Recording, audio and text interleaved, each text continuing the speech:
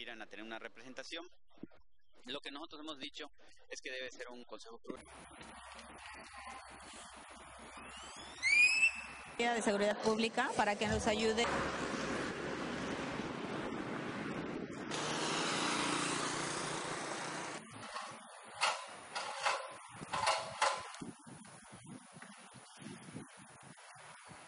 Vamos a acudir también al, al lugar de donde proviene la denuncia.